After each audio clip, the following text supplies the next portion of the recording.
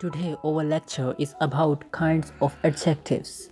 So there are four kinds of adjectives that we will discuss here.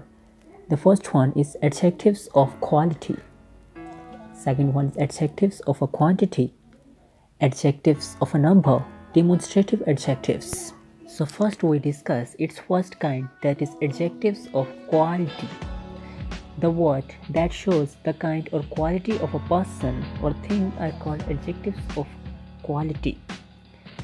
So, in any sentence, the word that describes the quality of a thing or person. For example, Hamad is intelligent in the sub sentence. Intelligent is the word that shows the quality of a noun that is say Hamad. So, this will be the adjective. The second one is adjectives of quantity.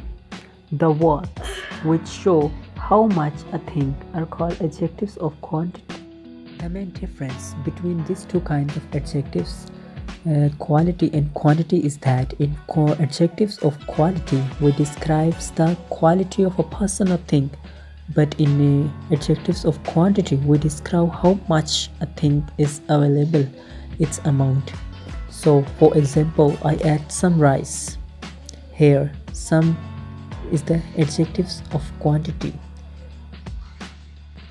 Urdu में से मकदारी इसमें सिफ्त कहा जाता है वो अल्फाज जो किसी चीज़ के मकदार को ज़ाहिर करते हैं, उसे मकदारी इसमें सिफ्त कहेंगे एडजेक्टिव्स के इन दोनों काइंड्स में सिर्फ़ यही फ़र्क है कि क्वालिटी में हम किसी भी चीज़ या शख्स की खसूसियत को, जबकि क्वांटिटी में हम उसकी मकदार को बयान करते हैं, जैसे एली ने कुछ चावल खाए मैंने कुछ दूध पिया।